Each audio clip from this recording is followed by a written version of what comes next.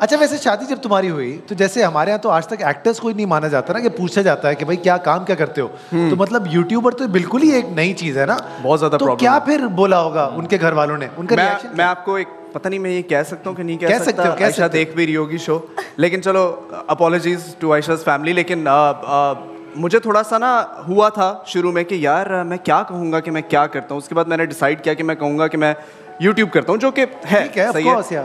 तो आयशा की जो नानी है वो बहुत स्वीट है। तो जब हम रिश्ता लेकर गए जब उनके पास जाके बैठे उन्होंने पूछा कि आप क्या करते हैं तो मैंने बताया कि नानी मैं यूट्यूब पे वीडियोस बनाता हूँ। तो वो कहती हाँ ठीक है मगर क्या करते क्या क्या करते हो?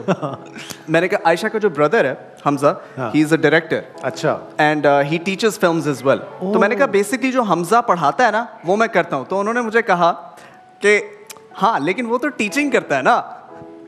क्या करते तुम हो? क्या करते हो? तो मुझे हुआ कि यार बड़ा मुश्किल है समझाना जिन लोगों को नहीं पता कि YouTube की पोटेंशियल क्या है या सोशल मीडिया की या मीडिया की क्या पोटेंशियल है उनको मेरी तरफ़ इशारा करके तुम क्यों कह रहे हो नहीं आपकी तरफ़ नहीं मैं वैसे एक जनरल बात कर अच्छा सुनो आयशा के भाई को जिस वो पढ़ाते हैं और वो फिल्म्स पढ़ाते हैं तो मैं जानना चाहता हूँ कि उनके लिए ये प्रोसेस कैसा था?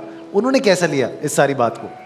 उन्होंने कैसा क्या उन्होंने मतलब- क्या, वो he he understood it. He was okay with day one, yeah yeah he was okay with it because एक ये भी तो प्रॉब्लम है ना कि दो स्कूल ऑफ़ थॉट्स है ना उनको एक दूसरे को समझने में थोड़ा सा जरा टाइम मुझे ऐसा लग रहा है। हमारी कॉन्वर्सेशन हो भी चुकी है तो जैसे इस तरह के जो लोग होते हैं थोड़ा सा उनको टाइम लगता है ये बात समझने में। बट देन शावीर ने मुझे समझाया कि ये कैसे होता है मुद्दा और मुझे समझ आ गया फाइनली बहुत मुश्किल काम करते हैं